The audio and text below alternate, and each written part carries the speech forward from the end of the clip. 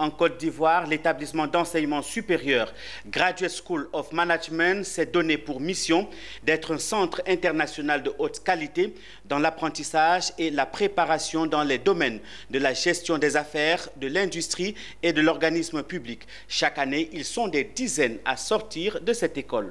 69 étudiants se sont vus décerner leur diplôme de licence professionnelle, MBA et bachelor. 69 étudiants de Graduate School of Management ont reçu leur diplôme de fait de formation. Licence professionnelle, MBA et bachelor sont les diplômes qui ont été décernés à ces étudiants.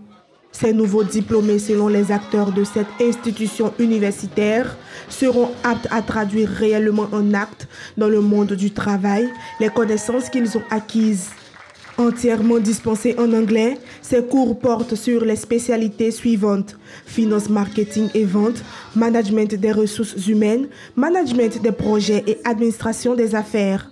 Cette approche pédagogique où l'anglais est à la base des enseignements traduit la nette volonté de cette université de vouloir à terme insérer rapidement leurs apprenants dans le marché d'emploi. Qui font qu'à notre sortie, plusieurs portes nous sont ouvertes donc du coup, euh, les étudiants de Graduate School of Management, très peu sont ceux qui chôment à la sortie de leur euh, programme. Donc, euh, ce qu'il faut retenir ici aujourd'hui avec Graduate School of Management, c'est que vous avez affaire à une université qui est anglo-saxonne?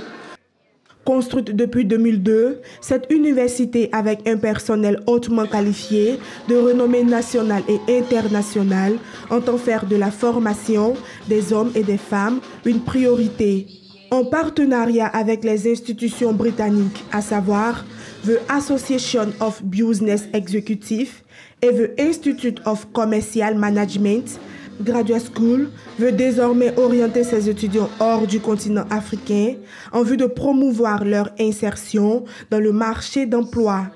Cette cérémonie a regroupé plusieurs hommes et femmes de métier de la sous-région, de l'enseignement supérieur de Côte d'Ivoire et des parents des étudiants diplômés.